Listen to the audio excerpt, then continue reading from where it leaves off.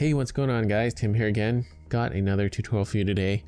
Really, really awesome project today. Um, for all you Game of Thrones fans, um, this is the one we're doing. Another themed bracelet by uh, Pavel over at Cetus550. Check out his Instagram feed down below.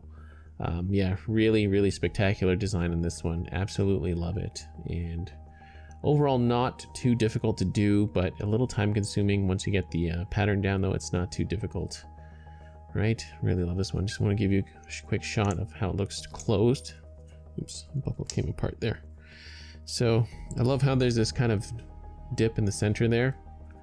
You got these two of the main like bands going down the side. It mimics the look of that, uh, you know, that throne, of course.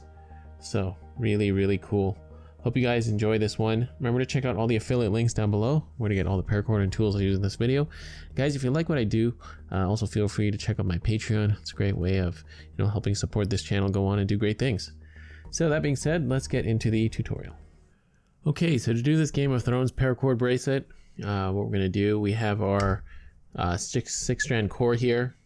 Usual setup for that. If you don't know how to do this setup, remember I, that's always linked in the description down below. Got my two working cords coming out the uh, up top here. And all we have to do before we start uh, weaving is to add our accent color. Or that's actually going to be the um, kind of main color on the sides here. So if you've done your setup like me, um, you'll have this setup up top. I'm just going to detach this for a sec. So on the back here, where these two uh, cow stitches are, I've got my uh, accent color on a fid here, and I'm just going to pass it through there, right there, between these two uh, loops.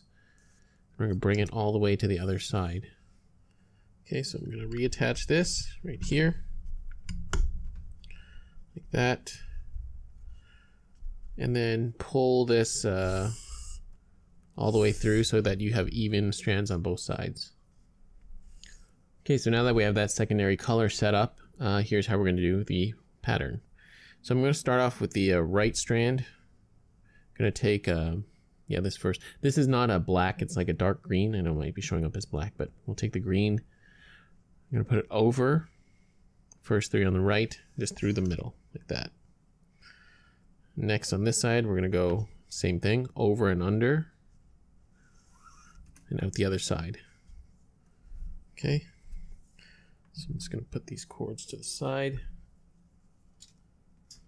Okay, now from here, start working with the gold. You don't have to use fids for this. I'm just using fids so it's a lot more clear uh, where my paracord is going. So let's keep these guys like this. So first we're starting on the left side. We're going to go take our first gold strand and go through this second gap here and go behind. Make sure you go underneath this back uh, this strand coming out here. Okay, so through there pull all this through. Got a lot of paracord as usual because I don't want to run out. So um, see what's happening here. I'm going over top of that. You don't want to do that. Um, you want to make sure this comes out here. Sorry. Okay. So bring that through there, like so. Okay through that second gap and just underneath there. So now from here,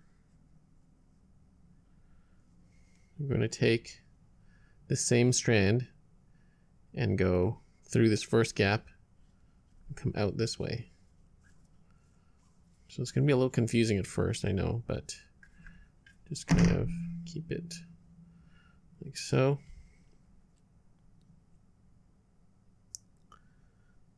Okay, so this is where we want to be, like this.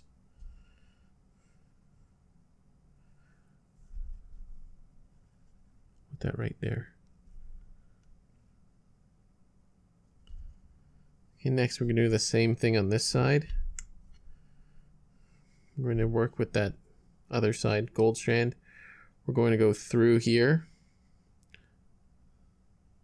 through this gap, and remember underneath this strand here. Okay, and bring it underneath this gold one too.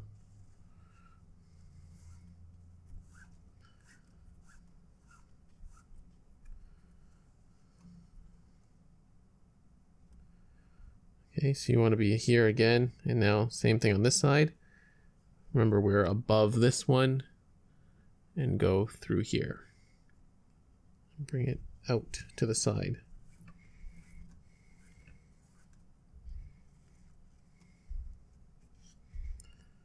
Okay, so that is where you should be right now. Okay, so from here, to make it a little less confusing, I'm going to pull these in a bit and just make sure these gold ones are on top of those green loops, like that. Okay, so keep it like this. Now, working with uh, the strand on the left, we're going to go through this same gap here and go underneath two green underneath that gold and through over top this loop here. Okay, so pull that through. Like that. Same thing on this side. So again, go through that same gap there, go underneath the two gold, or sorry, the two green, and then go underneath this gold, but over this outer loop here. Okay. So let's pull that through. Now we cinch up. So do this part carefully. I'm gonna pull on these greens. So you can also get your knotter's tool out. You want to get this excess through. Close that up. Or you can just use your fingers. You want to push this knot all the way up. Good tip is to push it up before you fully cinch everything. So I like to pinch on this a little bit and pull that excess out. Pinch on this side a bit. Pull that excess out. And try to keep everything nice and tight. Sorry for kind of blocking it. I have to grab hold of everything here and just pull.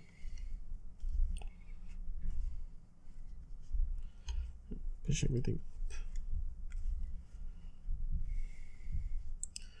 Okay, so that is the first knot, and now we can move on to the next one.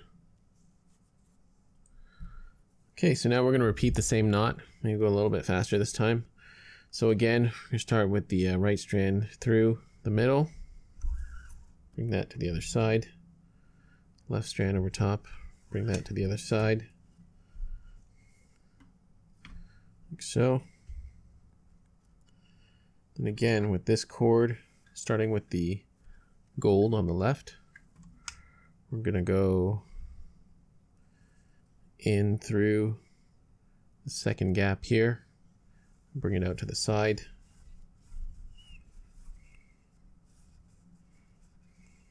Like that.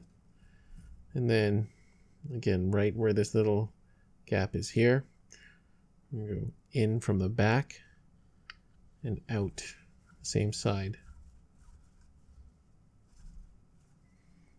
Okay, let's keep that there.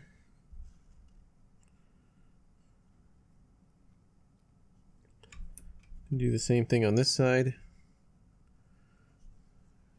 Again, we're going to go in through this gap here, bring it out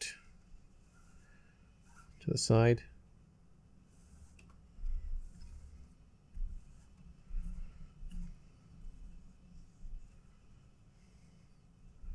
And then again through the third gap here on the outer strand, outer gap, bring that out.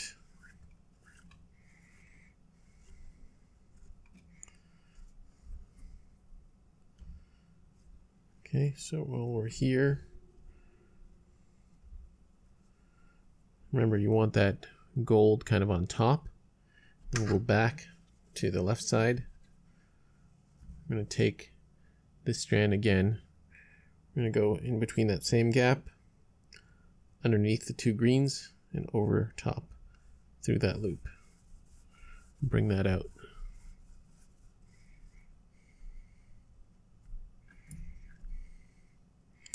Same thing on this side. Through this same gap here, underneath the two green and over top that loop there. And again, we're going to cinch it up. So cinch up that green. You're going to have to kind of do everything a bit at once just to get it even. So pull on this one, pull that out. Again, you want to push everything as up as you as up high as you can. Now, there's going to be a bit of a gap here in between these knots, so you can't really help that. So just push it up as much as possible to get rid of that gap. Of course, we want to pull all this excess out.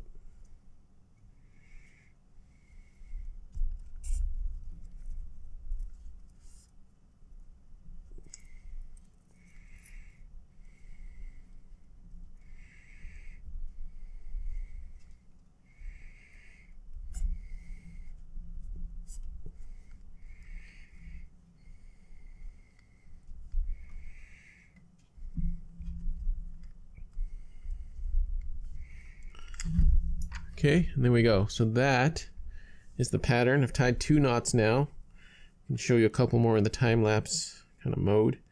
But uh, yeah, we're just going to continue tying these knots uh, going down your bracelet.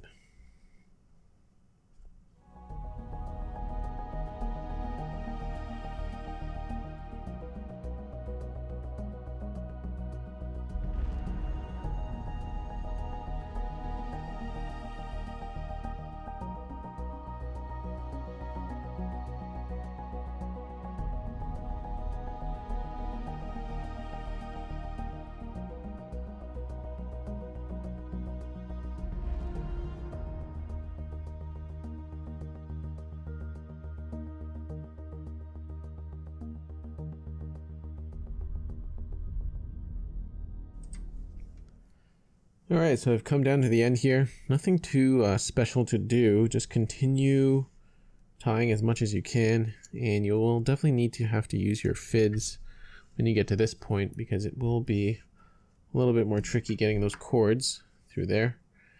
So let's do this really quickly. I think I can get one more knot in. Let's see how we do.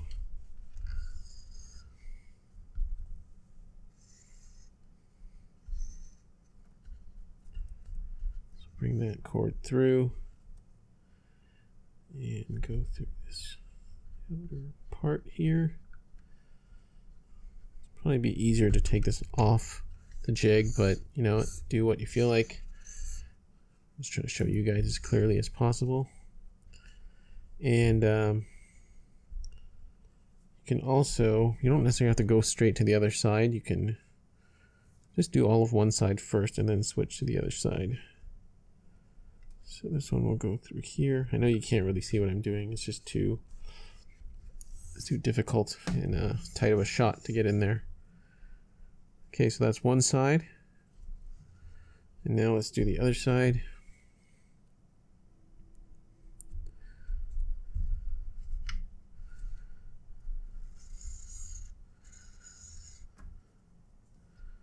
So this um, this overall pattern, it's not too difficult once you get the hang of it but it is um, I found it was a little bit time consuming because uh, as you tighten for this bracelet you kind of have to tighten um, all different parts of the knot before you move on. You can't really just pull everything shut and then move on.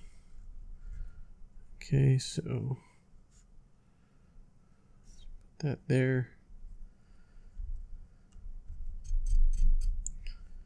And then this last one Go in through here and out there. Okay, I think we got it. So now I'm just going to tighten up this last knot.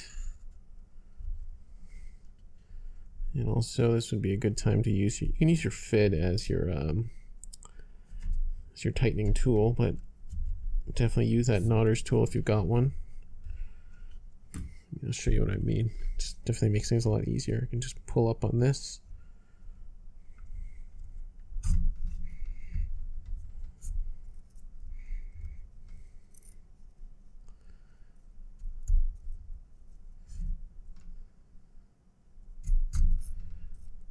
I can pull up on that and pull this through. There we go. Yeah, I think that's the uh, last knot we can do. Okay, so that looks pretty good actually. So um, let's do this now. Take this off the jig.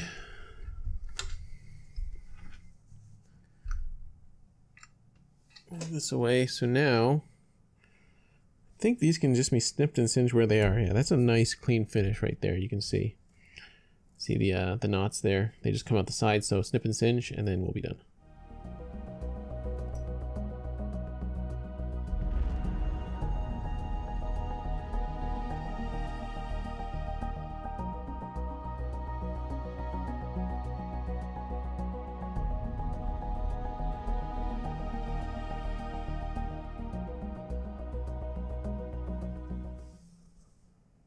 Okay, and there we have it, guys. We are done. Super clean finish on this one. Paracord has been snipped and singed there. And this one turned out wonderfully awesome. Big shout out again to uh, Pavel over at Cetus550. Check out his Instagram feed. Awesome picture tutorials and great photos. Excellent work. Overall, great guy, great paracordist. Guys, thank you so much for watching. Remember to check out those affiliate links down below on where to get paracord and all this great stuff used in the video. Also, if you like what I do, guys, check out my Patreon. Thank you so much for watching, guys. I'll see you on the next one.